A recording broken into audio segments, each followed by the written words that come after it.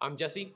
Our series is in the book of Ruth, and our devotions are taking a close look at the law that serves as the foundation to the events of the book of Ruth. If you grasp the legal system that was at play, then you fully appreciate the redemption that takes place in the book of Ruth.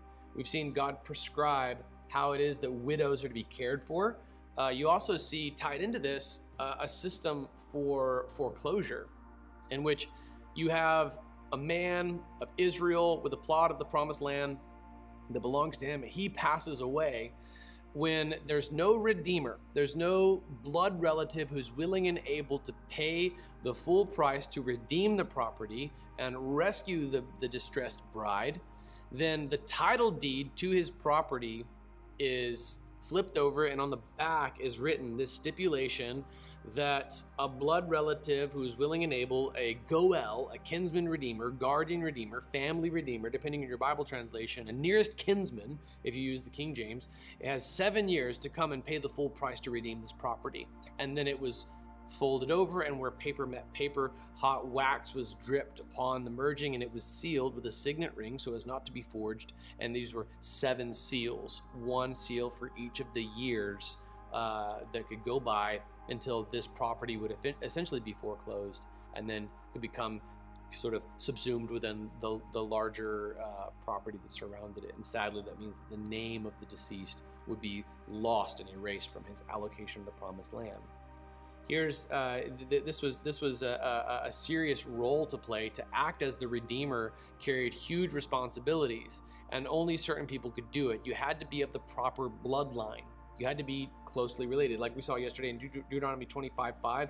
When brothers live on the same property and one of them dies without a son, the wife of the dead man will not marry a stranger outside of the family. Her brother-in-law is to take her as his wife.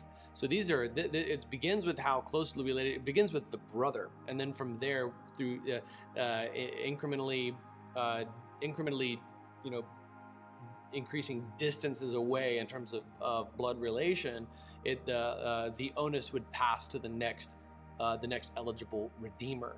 God gives this prescription after having made the proclamation and reminded them multiple times in the previous chapter Remember that you were a slave in Egypt, and the Lord your God redeemed you from there. Therefore, I'm commanding you to do this. That's Deuteronomy 24 18. God's like, I was your redeemer. Now you redeem the bride when she's in distress. She married this guy, and then he kicked the bucket on her. What is she to do? I'm commanding you to see to it that she is looked after and she's well provided for. She she has the right then as per God to expect this in the Old Testament context of Israel. And if she is denied this, then it's because there's a man who is refusing to follow through on what God said to do. Okay? that that is he's refusing to do the, the the duty of a brother-in-law that's verse 5 the expectation of a brother it's expected that you would do this because you're the brother-in-law you're going to have a child and he's going to bear the name of your deceased relative so the the expectation for the redeemer was high you're foregoing your right to name your firstborn son after yourself for one thing like he's going to bear the name of your deceased brother. It's almost as though he's not your son. He's really the son of your deceased brother. And the allocation of the land, it means you're foregoing your right then to marry. God did not condone polygamy. It means that you're also foregoing your right to choose your own wife that you're going to marry your brother's, your late brother's wife, and you're going to name your children after him. So it's a high bar. It's costly. It's expensive. In some uh, in some levirate marriage cases, it was expected that you would come and you would actually even buy the property from the widow, even if you were already married. There is other other examples of levirate marriage precedent in which you would buy the property from the widow and she'd live off the proceeds the rest of her life. That doesn't mean that you can Airbnb it out because she lives there, man. So there's a high expectation. It costs the Redeemer a lot. He foregoes what he might be right uh, right to expect on his own, and he can face recourse if the bride, if he if he wrongs the bride, she has the ability to remove his sandal and spit in his face, and then you have a new name, bro, and it's not going to fit on it's not going to fit on your intramural jersey very well. It's the house of the man whose sandal was removed. That's going to be your that that blemish is going to be on your reputation forevermore. So there's a high expectation. to be a redeemer, to act as a redeemer, was a noble thing. It was a costly thing. It was a self sacrificial thing. That's what Boaz did, and that's what Jesus does.